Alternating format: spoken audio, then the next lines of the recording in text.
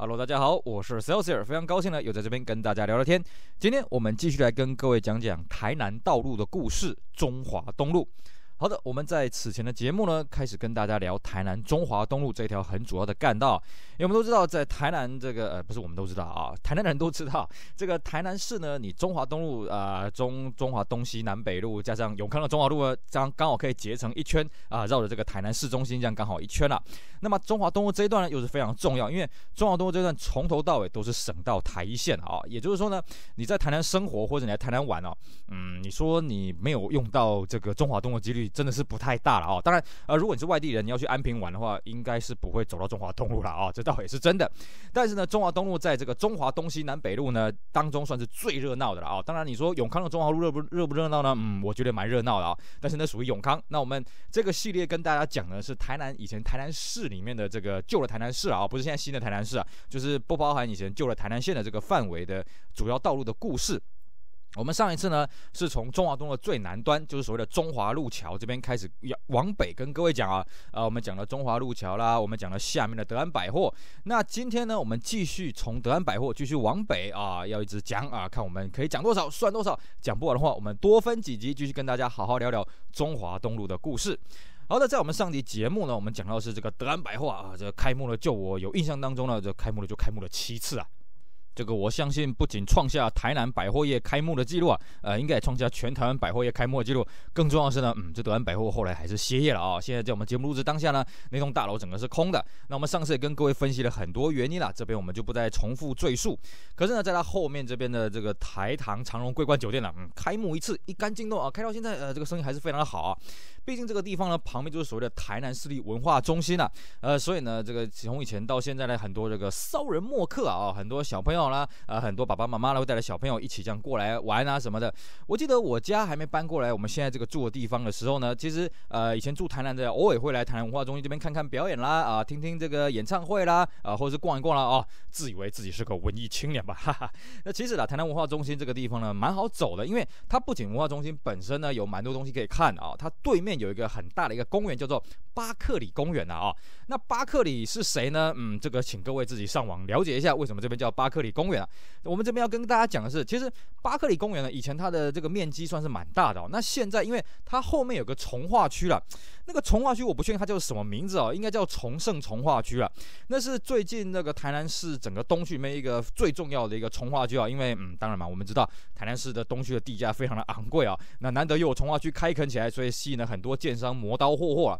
以前呢，在巴克里公园这边呢是没办法路直接通到另外一头二空那个地方啊。那现在呢，已经路已经打通了，所以巴克里公园这边的这个人啊、车啊就越来越多啊。那巴克里公园里面，我是几乎是没有去过啦，因为我这个人没有什么在走公园的习惯啊，所以里面到底有什么有趣的东西，我是不大清楚。不过我知道呢，这个附近倒是有一些不错有趣的东西，什么呢？哎，这一带吃的东西还不少了。光是在这个中华东路上面呢，就有所谓的十二锅啦、呃晴天包包子啦、董猪董猪啦。那么在崇明路上面呢，也有一些这个不错的东西啊。但是你说那吃起来怎么样呢？嗯，其实我不大清楚啊，因为我刚刚跟各位讲的这几间店呢，呃，晴天包子好像有买过一次了。那其他的店呢，我几乎都没有再去，因为我这个人呢，不太喜欢自己去一个人吃东西了啊。因为呃，我这个人虽然兴趣除了玩车以外，还有一个是做菜，但是呢，我对于食物的要求不是很重啊。我不会说一个人无聊啊，自己去吃个什么好吃的东西，很少了，我必须这么讲，很少。所以呃，我是每次经过这些地方，我就看到哇，这个外面人呃大排长龙啊啊，这个都要等待等位很久啊。大概除了这个疫情这个非常严峻的期间不用等以外，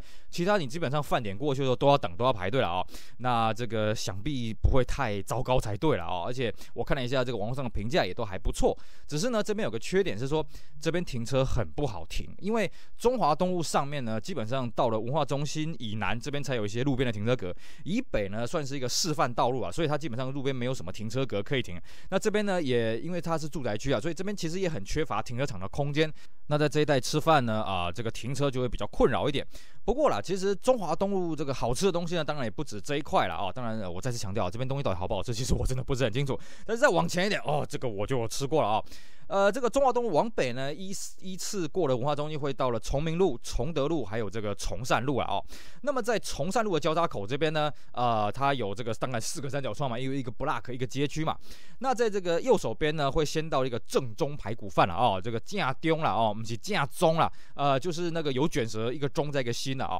如果各位有来南部观光的，就会知道，其实，在高雄在台南呢，很多这种大的十字路口，就会看到这种正宗排骨饭，然后上面写个王志和创立。其实呢，这是一个。南部起家的一个便当店啊，那它的这个便当呢，嗯，你说有没有特别的好吃？我觉得 OK 啦，就是一般便当店该有的东西，比方说呃物美价廉呐，比方说这个菜色丰富啦，啊每天更换配菜啊什么的啊，那当然的口味也是比较偏重一点啦。可是呢，它标榜的是什么？第一个，它外观的这个外墙装潢的很气派。一般便当店啊，你可能就随便弄一个这个亚克力看板啊，弄一个亚克力招牌结束了啊，里面稍微再装潢一下。但正宗排骨饭呢，嗯，它这个店面的这个气势非常的强啊，哇，这看起来好像是个什么大排档啊，好像是那种海霸王等级那种餐厅啊。那还有一个更好玩的是什么？它内部内用的装潢呢，其实是很高级啊。我们常说了，吃东西呢，嗯呃，几分吃装潢，几分吃食材啦。那这个地方呢，我觉得它的东西虽然没有到特别的好吃，但是你在那个装潢之下吃，你会觉得，嗯，东西还真的蛮好吃的。我们一般便当店呢，可能那个桌椅都是塑胶的桌椅啦，啊，可能地上就是磨石子或者随便铺个地砖啊什么的。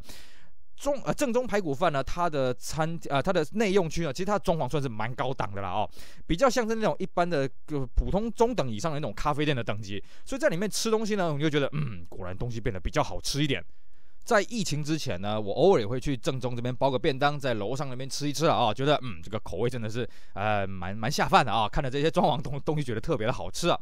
那么在正宗排骨饭的另外一头呢，在左边这个方向呢是这个啊竹蒿错青州小菜了。当然也有人说这是竹高错了哦。那这个青州小菜呢，顾名思义就是自助餐自己夹，而且呢这间自助餐很好玩哦，因为以前我也常去啊。那我们常说了，这个世界上有好几大个好几个谜团嘛，比方说百慕达三角洲，比方说母大陆啊，冈瓦纳大陆啊，还有一个是什么？自助餐阿姨的价钱的算法。其实这一间。我基我可以跟各位讲，没有这个问题，因为我完全知道他怎么去算，而且每一次我都抓得住，因为他会告诉你哦，他的这个计菜的基准是什么。比方说这一盘菜呢，一份是多少钱多少钱，然后他的一份的分量大概是多少，其实他跟你讲的清清楚楚啊。哦，我大概去个一两次，我就知道哦，他这个价钱怎么算，每次我都可以抓的算是蛮精准的。而且更重要什么呢？嘿嘿，这边是白饭吃到饱的啊，这个饮料啊，这个这个汤啊也是喝到饱的，而且还有加那个免费的肉燥啊，可以让你一直加。所以呢，其实去。那边呢都是假假筹拜啊，就是把它吃个饱。那这边呢，其实价格也不算是很贵了。如果你会夹的话，像我哦，知道它的这个这个这个算钱的技巧呢，其实一餐六十块就可以吃的非常饱了哦。以现在的物价来讲，嗯，我觉得算是蛮不简单。当然了哦，吃的非常饱，当然是你白饭可能要吃个两碗啦哦，汤可能喝个两碗这样子。那这边呢，另外一个可以跟各位补充一下说，那为什么这边叫做竹蒿错了啊？那闽南语叫做地哥处啊。为什么他要取这么奇特的名称呢？其实，如果你是在地人，就会知道，嗯，这个就是这边这块地的这个名字了啊。这个地格处呢，其实是台南东区很大一片的地，都叫做地格处了。这一带的这个地号什么都叫做竹蒿厝啊，几号几号几号了啊。那其实啊，你如果啊这个中隔着中华东路，你再往这个这个仁德的方向走，再往东半部的这个方呃东半部的方向走，那边叫做德高厝。那如果这细心点，就会发现，哎，其实竹蒿错跟德高错，闽南语念法都是一样，都是地格处啊。那这是为什么呢？其实，在早年在清朝的时候，这一带都叫做竹蒿错了。顾名思义呢，这边很多那个地格啊做的那个房子，也是竹子搭建起来的屋子啊。哦，其实如果你对台南地理还有点了解的话呢，那个以前台南一中啊，哦，台南一中呃有个。旧的名字叫什么？叫竹园岗啊，也就是以前那个地方呢，都是一片竹子啦。所以呢，这个时候台南很多竹子嘛，这个大家建房子就用这个竹竹子来盖这个房子的屋顶啦，盖这房子的这个啊，这个这个主要结构啊，当然主要结构可能不行啊。反正你像我的那个阿妈家那边的那个房子里面有看到那个竹竿啊，哦，整个这样子一一整根呢，当做一个墙面的一个支撑的建筑结构了哦。那这边呢有很多这个竹子搭建的房子，所以这边叫竹蒿厝。那为什么后来一半部了，就是隔着这个中华东呃往东那边，为什么叫做德高措呢？据说是那边后来在清朝时候出了一个进士还是举人呐，那跟这个朝廷在这个禀报他的出身的时候呢，那朝廷有官员觉得说啊这个地方呢叫竹蒿错呢可能太嗯太普通了，干脆就改名吧啊反正你考上个进士还是举人呢啊你是德高望重嘛，所以这边就改名叫德高错。所以我们现在看到呢这个中华东路以西呢这边叫竹蒿错了，以东呢这边叫做德高错啊。其实啊以前是同一块区域啊，这边附近附带跟大家聊一聊这个当啊这个当年的地理啊。那其实呢，在这个街角口呢，还有一个这个 Seven Eleven。Seven Eleven 各位会说这个没什么稀奇嘛？不过你仔细看哦，在它的就是在中华东路跟崇山路交叉口呢，旁边还有一间 Seven Eleven 哦，隔了一个一一个十字路口，一个小小十字路口，大概我相信这两间 Seven Eleven 哦，直线距离应该不到五十公尺。这在这个便利商店的开设来讲，算是很罕见啊！因为一般来讲，店便利商店你当然不同间的系统当然是没有关系啊。同一间系统它有一个排斥的规则，那我就搞不太清楚为什么这两间 Seven Eleven 会开的那么的近啊。不过呢，在中华东路路口的这间 Seven Eleven 呢，它以前是一间叫做万万福羊肉炉了啊。万福羊肉炉呢，它现在已经搬到永康的中华路，也就是这中华东路再往前走大概三五公里吧啊。那其实这间店呢，我印象非常深刻。为什么？因为这间店便宜又好吃啊！啊，就分量超级多，三个人一千块的菜哦，其实基本上吃不完。而且呢，它旁边有一个，当时还有一个特约的停车场，其实车还蛮好停的，因为它它每次人都没有很多了啊。那东西真的很好吃哦，而且它常常会有一些特价的小菜啦，啊，像什么欧链啊，哦，像什么呃甜不辣啊，这个一盘一百块钱、五十块钱一些促销什么的哦，其实吃的很饱了。那我以前常常去那边吃，那现在他搬到永康去的话哦，离我比较远，而且最近。疫情期间呢，我比较没有在跟活人吃饭了啊，所以现在新的那个万福羊肉炉，我有去过一两次啊，我觉得口味没有变，但是到底现在具体最新情况怎么样，我不是很清楚。可是以前呢，他在中华东路跟崇善路交叉口的时候呢，哇，这个我常去，我非常推荐啊。那他呃口味也算相当不错了啊，当然现在已经改成 Seven Eleven，我觉得有点可惜啊。那么除了这些这个呃这个路口以外呢，再往前啊，这个中华东路过了东门路路口之后呢，啊，在左手边还有一间叫做护品上海汤包了哦。那顾名思义，他就吃这个广式料理，在吃这个小笼汤包的啊。那什么啊凤爪啦啊什么叉烧包啦，其实这个口味也不错。那之前有日本车友来这个台南玩的时候呢，我也会带他们去那边吃，而且它旁边也有附设一个停车场，就停车不是非常的困难啊。啊，东西真的还蛮好吃的，价格嗯啊稍微高了一点点，但是我觉得。还可以接受了。如果说你真的要经济实惠的话，其实台南还有别的小笼汤包店啊，就是那种啊这个平价的消费，但是口味也不错。但是护品汤汤包呢，它基本上装潢是蛮高档，服务也不错了。我觉得啊一分钱一分货了啊，必须这么讲。